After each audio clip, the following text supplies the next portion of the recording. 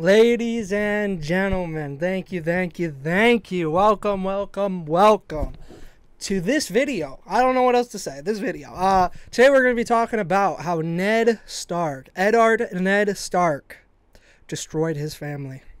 Let's get into it after this ad. Dun-dun-dun-dun.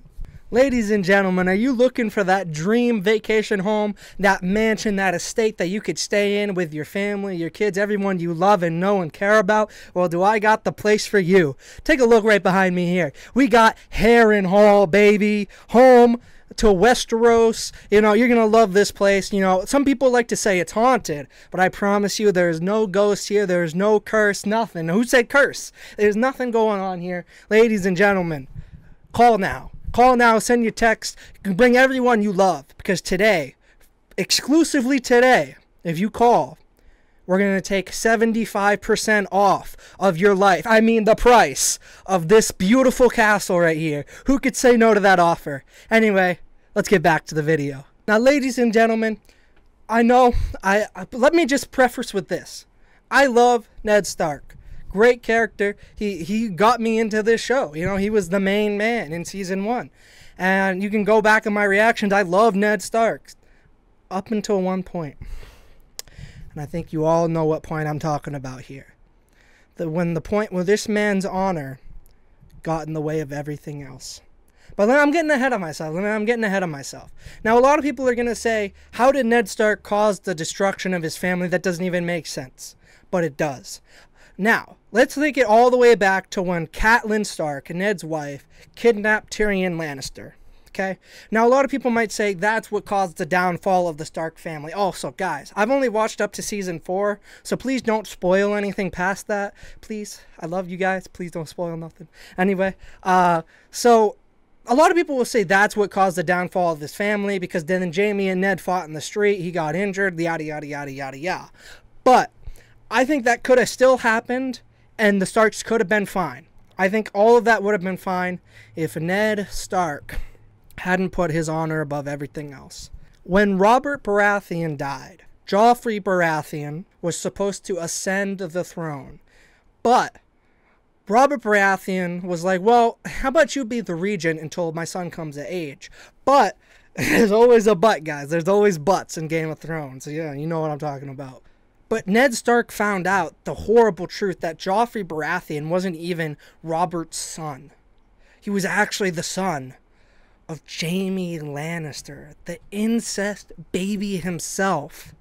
It's ridiculous. I, I couldn't believe it when it happened. You can see my reaction on this channel. But anyway, that was a turning point for Ned's character for me because he could have done the right thing. And honestly, the right thing would have been to just tell Robert on his deathbed in front of everyone. Now, eh, that is a fishy situation. Who knows what'll happen? And it might just be called treason right there on the spot. I'm aware of that. But would you guys rather risk that? Or would you rather risk letting him pass away? And then once he's passed away, you're like, oh, yeah, by the way, he's not actually Robert's son, so he can't be king. Which one looks worse in that situation? Come on, like, use your head. Ned, use your brain.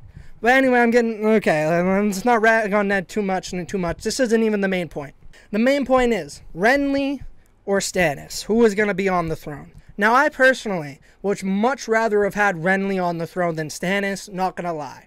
I don't mind Stannis, he's a little cuckoo though with his red god, but it was either Renly or Stannis because it wasn't going to be Joffrey. So then Ned and Lord Baelish start conspiring together to try and get Joffrey off the throne because they're going to need support of the guard in order to do that. And Lord Baelish is talking about the guard is going to follow whoever pays them. And Ned, you know, he isn't about all. He's hearing everything Baelish is saying. He goes, "Oh, this is slimy. This is schemy. This is King's Landing stuff." And Ned Stark doesn't want anything to do with that. He goes, "Stannis must be king because he's the eldest brother, even though he's a cuckoo, god-loving, fire-burning, sacrificing man of a man. Jesus, Stannis is a man. But anyway, anyway."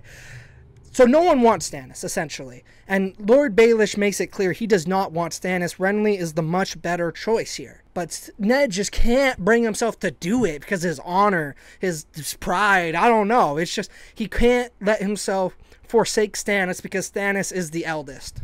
Now, I get where he's coming from. I do. I don't want to act like Ned is being stupid here. But at the same time, guys, at the same time, Ned, you're stupid.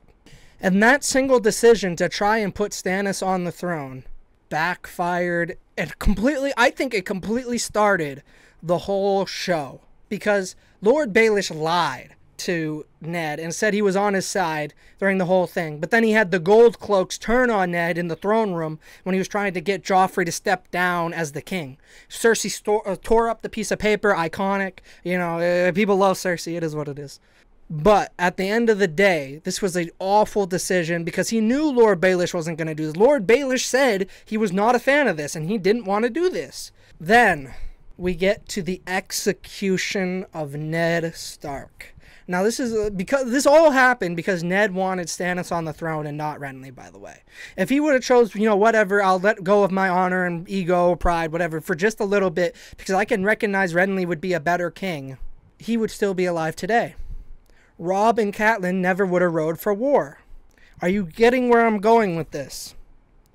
Ned being so honorable caused the complete destruction of his family. Complete destruction. Because when Ned Stark got executed, Arya has nowhere to go. She gets sent up with this group to the wall. You know, that breaks all apart. She gets lost. She's now with the Hound. I don't, I like I said, I'm only into season four. So she's with the Hound right now, wandering. And she's basically getting sold off to whoever the Hound can find that's her family. Because Robb is dead. Catelyn's dead. You want to know why? Because they went to war to avenge Ned. That never would have needed to happen if Ned just said Renly can be king. Robb went to war. He, he was actually doing great. He didn't lose a single battle. But then again, it only takes one wedding. I've learned this now. I've learned this now. Weddings are not a safe place to be in Westeros. If I get a wedding invitation at Westeros, I'm leaving. I'm not going. it's, it's as simple as that. At the end of the day, Arya cast to the wind somewhere in the Riverlands right now with the Hound. Who knows what's going on there? Sansa stuck in King's Landing being mentally, psychologically, physically tortured and abused by Joffrey Baratheon, the man who killed Ned. Robb and Catelyn, like I said, dead. Completely destroyed. Bran left alone with Rickon, and they had to flee the castle because no one was there to defend them. Bran is now up north. Rickon's at the Umbers in uh, the last Hearth. Guys, Ned completely botched everything about this situation, and his family is destroyed because of him. I've been wanting to make this video for a while, guys. I uh, I appreciate you clicking this if you did. Uh, I hope you guys enjoyed this. I didn't.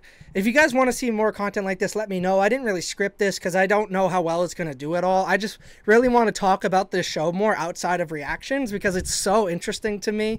Like all these characters have such deep lore and like just implications like this. This whole implication of this video is that Ned caused the destruction of his family like I love this show because it has so much deep things like this, and I would love to do this more. Leave a like, comment down below, subscribe if you want to see more, just so I can like get feedback and know. All right, peace out, guys.